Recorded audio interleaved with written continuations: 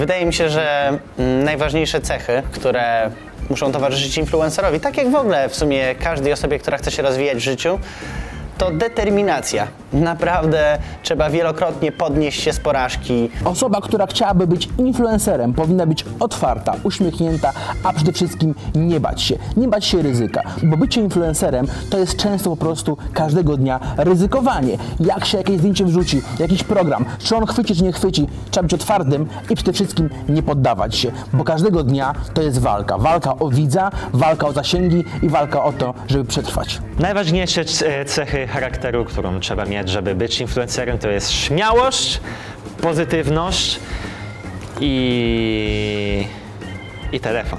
Influencer na pewno musi być autentyczny, przede wszystkim dlatego, żeby jego widzowie podążali za nim i za jego opinią, żeby mogli na nim polegać i mieć do niego zaufanie.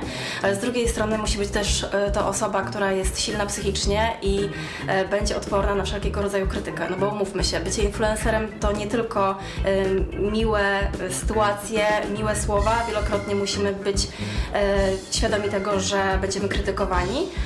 Na to też się otwieramy i też e, powinniśmy być tego świadomi, że takie sytuacje się zdarzają. Dlatego każdy, e, każda osoba, która w jakiś sposób pojawia się publicznie, powinna mieć silną psychikę i mocny pancerz, e, żeby się uzbroić przeciwko hejtowi i wszelkiego rodzaju krytyce. Wydawałoby się, że ja jako e, e, ja, bo, bo wolę mówić o sobie, nie chcę mówić o moich kolegach, e, nie nadaje się w żaden sposób na, na, na, na, takiego, e, na taki influencerski byt, jakkolwiek to, to, to, to nazwać, a jednak, a jednak gdzieś tam zna, zna- znajduje swoją niszę, a w zasadzie nie niszę, bo, bo całkiem sporo osób E, i, i, i myślę, że to jest, to, to jest właśnie najfajniejsze w internecie, że, że nie możemy określać konkretnych cech, e, cech e, osobowości danego influencera. Trzeba być otwartym, trzeba mieć taką łatwość pisania, łatwość mówienia.